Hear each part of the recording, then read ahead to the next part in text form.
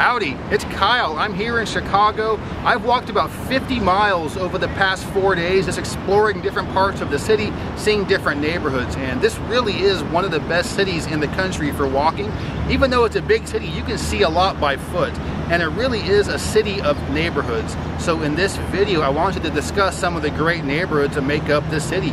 It's almost like a large cluster of small towns that come together to form one big city. And that's one of the reasons why I like it so much. So if you're interested in learning more about the Windy City, this is the video for you. First, some general information. At the census, the population was about 2.7 million people. It's the third largest city in the US, and that represents some slight population growth since 2010. The metro population is over 9 million people, and that includes the northwestern corner of Indiana, it's the third largest metro in the US behind only New York and Los Angeles, and the fourth largest combined metro in the US, also behind the DC Baltimore area. The state of Illinois gets a lot of bad press, and Chicago gets a lot of bad press too. And with Illinois being one of only two states that lost population between the 2010 and 2020 censuses, a lot of folks believe that Chicago is the reason for the population decline. This map breaks Illinois down by counties, the counties highlighted in green gained population between the last two censuses, and the counties highlighted in purple are the ones that lost population.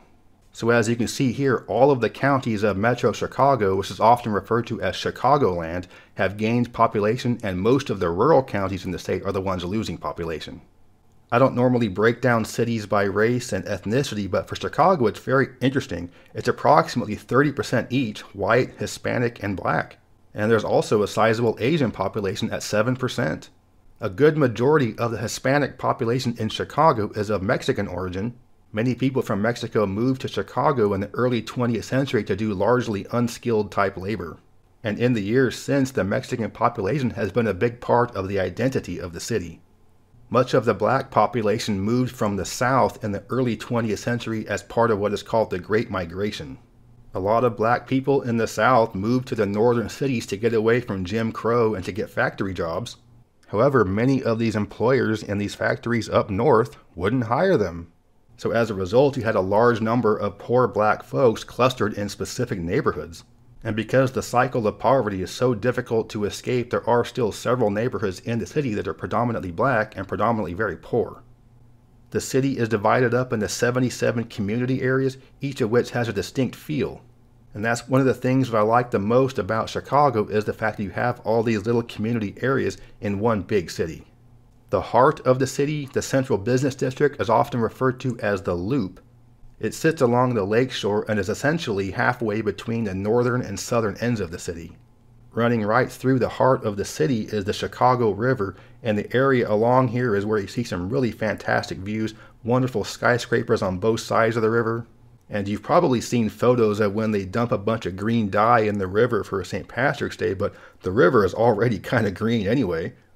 At the south end of downtown along the lake shore is where you have the museum campus. And as you might expect, there's a lot of museums there natural history, the planetarium, aquarium, and this is also where you have the large convention center and Soldier Field, which is where the Chicago Bears play. Toward the north end of downtown along the lakeshore is the Navy Pier. This is where the Children's Museum is and some amusement park rides. And it is very touristy, but there's also some outdoor green space for concerts and other outdoor events that locals will go to. And all these things that I just mentioned downtown are within walking distance of each other, and I spent the entirety of my first day there just walking around downtown. There's a nice walking and biking path along the lake connecting the museum campus and the Navy Pier. But even more interesting is just walking the various streets of downtown. One of the most iconic things about walking around downtown Chicago are the L trains.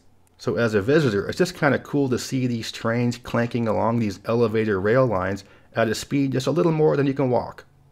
So the Loop is definitely the heart and soul of Chicago, but there are many other great neighborhoods in the city as well.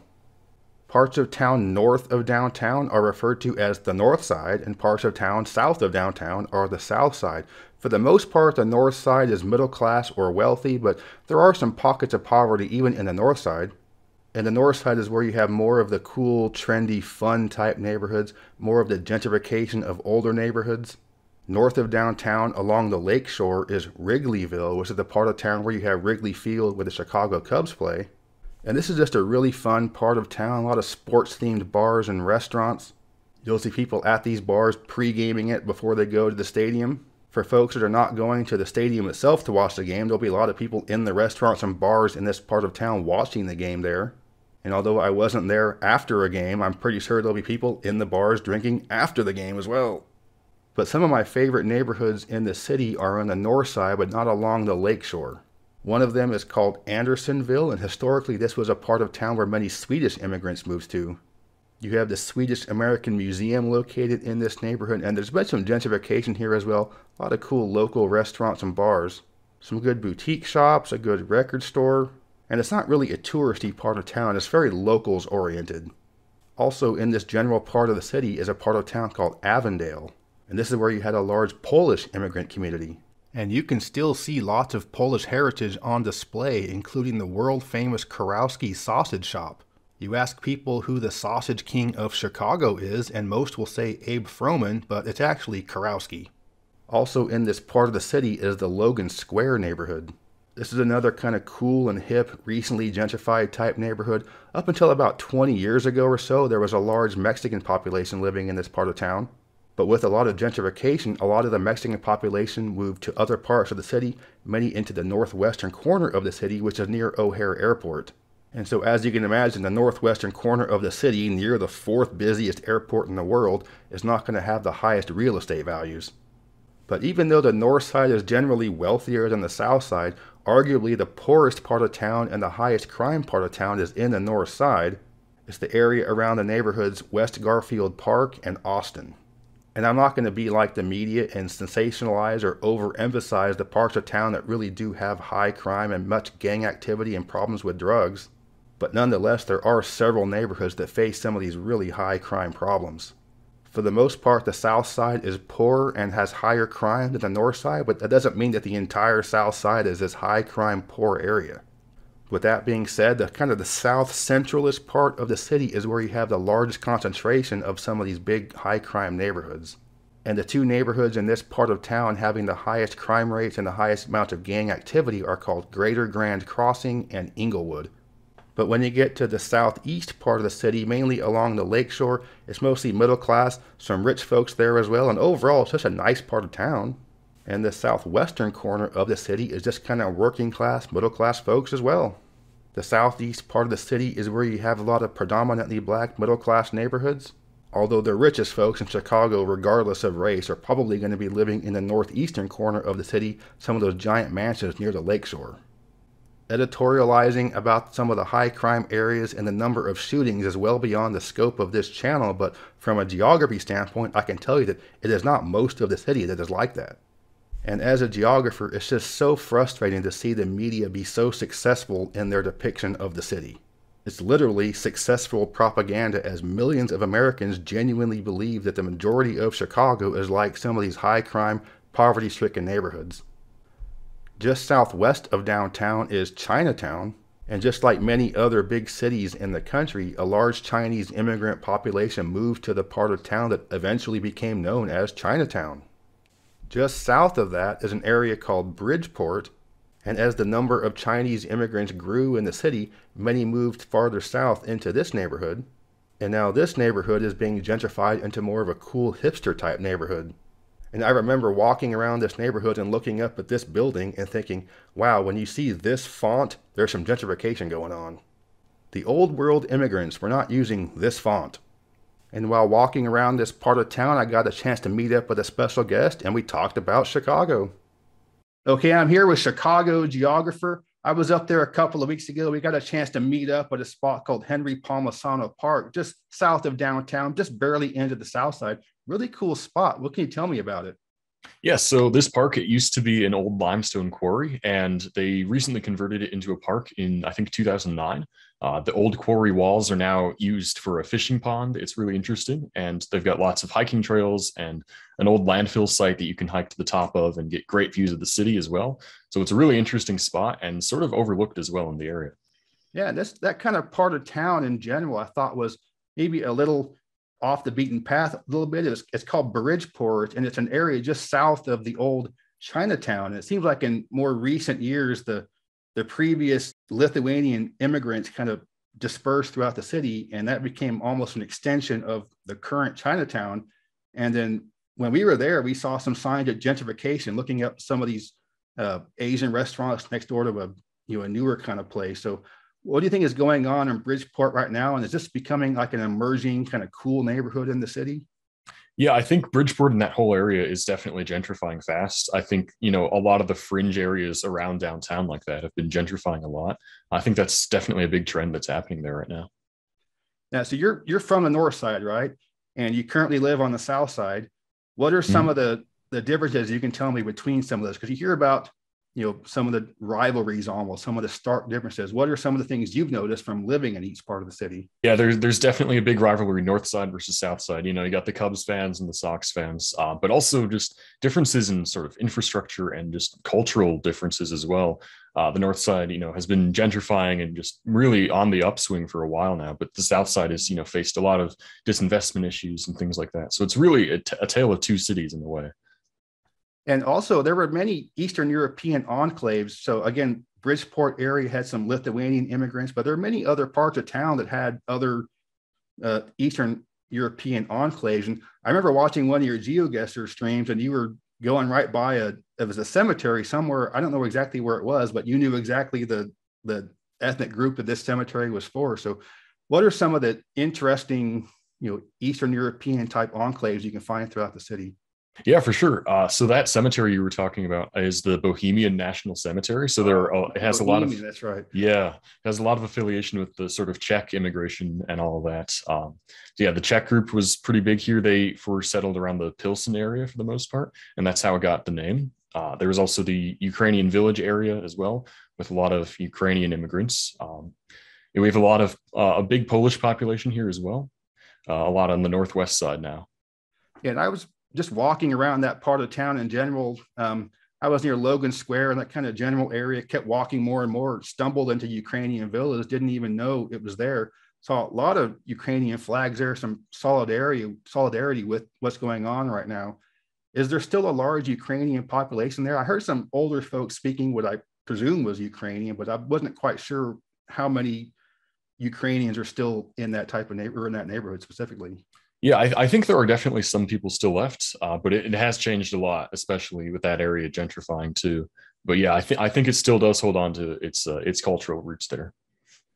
Yeah, I mean, so I'm making this video right now, and I think the overall theme of this video is just how much I like Chicago compared to almost all other major cities. So, have you got a chance to travel to many other cities and compared it to, or how do you feel about Chicago, just personally, you being from there? Yeah, so I, I might be a bit biased, but I, I absolutely love Chicago. Uh, I have had the chance to go to a lot of other big cities in the U.S. I've been to New York and Seattle, places like that, and they they're fairly similar in a sense. But Chicago is just really unique in that it has such a big size, but it's also fairly affordable. Fantastic food. You got the lakefront right there, so it's really unique in that way, especially among the larger cities. Yeah, I mean, I loved my time there. I just love spending the whole days just walking around. But I wanted to thank you for joining me here. Uh, guy, this is Chicago Geographer. He has a wonderful channel. He does GeoGuessr. He's really good at that. He also, also has some other great geography content. So real nerdy guy. He goes to the University of Chicago. So you know the guy is a complete nerd. So I'll leave the links to his uh, channel in the description, but do check him out. Again, thank you very much, Chicago Geographer. Yeah, thank you so much for having me. Now I want to talk a little bit about the economy of Chicago. The GDP of Cook County alone is $345 billion, which is more than 28 states, several of which have more people. And despite many people leaving the state of Illinois, companies like to move to Chicago. In fact, for the decade of the 2010s, Chicago was the number one city in the country for corporate relocation. And there are many major companies headquartered there, including Boeing Aircraft, McDonald's, Walgreens, Kraft Heinz, and many others. And I think a big reason for companies wanting to be located in Chicago is the relatively low cost of operation there. And part of the reason for housing costs being relatively low there is because the property taxes are so high, people aren't willing to pay as much for the house itself when the taxes are going to be so high. Some of these less expensive neighborhoods might be a fine neighborhood, but you might not be able to walk around very far before you get to neighborhoods where you might not want to be walking around. But once you get up into the 300,000 range, which crazy enough is pretty cheap these days, you can get some really nice housing in really good parts of town. You're not getting houses like this in New York, Los Angeles, San Francisco, Seattle, Denver, DC, or Boston for these prices. So that's just one more reason to like Chicago. Now I want to talk about some of the iconic foods of Chicago. The most iconic is deep dish pizza, and I really like deep dish pizza, although I think it's unfairly compared to New York style pizza. You really need to be in the mood more for like an Italian meal or a lasagna if you want a deep dish pizza. The city is also known for Italian beef sandwiches, and this is a pot roast beef cooked with beef stock instead of au jus. And with the city being known for having a lot of sausage, it's also well known for having Chicago style hot dogs. However, to me, these things look awful, and I'll take your word on it if you like them. I love pickles, but on a hot dog? What's wrong with you people? So, overall, I really like Chicago, and I'm not afraid to call it my favorite big city in the country. All kinds of cultural attractions and urban amenities, lots of green space, a few really big parks, and a whole bunch of smaller ones, beaches along the lakeshore, one of the best food scenes in the entire country, one of the best music scenes in the entire country, and a relatively low cost of living, especially compared to other big cities in the country. In walking around town, I talked to a bunch of people, asked them what they thought about Chicago, and the answers were basically unanimous. I love Chicago, except I hate the winters, and F the news media. And so, as a visitor who's been there several times, I have to echo that sentiment. I love Chicago, except I hate those winters, and F the news media. I hope you enjoyed this video. If you did, please give me a thumbs up to let me know you approve, and consider subscribing to this channel if you're interested in learning more about geography. I'm talking about cities like this, also going over states, ranking things in all kinds of different categories, talking about cross-country road tripping. I'm a bit of a nerd, so everything comes from a little more nerdy type perspective. But yeah, thanks for watching. Geography King, signing out.